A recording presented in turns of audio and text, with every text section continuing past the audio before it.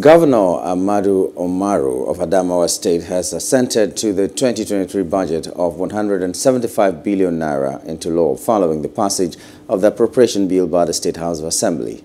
The event, which took place at the Government House, Yola, had in attendance Deputy Governor, Deputy Speaker of the State House of Assembly, Kwame Keno Makando, and members of the House Standing Committee on Finance, Appropriation and Budget. Governor Umaru Fintiri had on Friday, 25th of November 2022, presented an appropriation bill of over 175 billion naira for 2023 fiscal year to the State House of Assembly for consideration.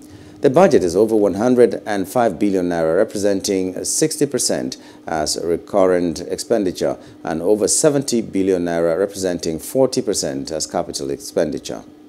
Already the governor has tagged uh, the budget a budget of consolidation, uh, stability for prosperity.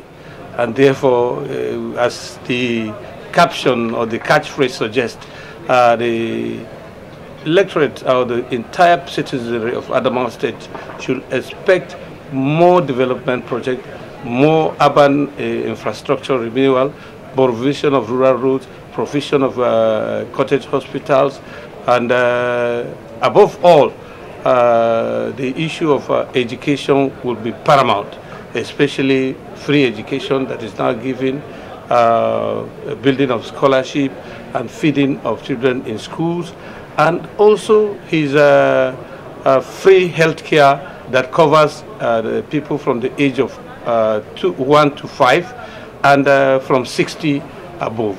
These are the goodies that this budget uh, will bring, and uh, this uh, Adama people should expect these goodies to be implemented in the 2023 budget. Hello.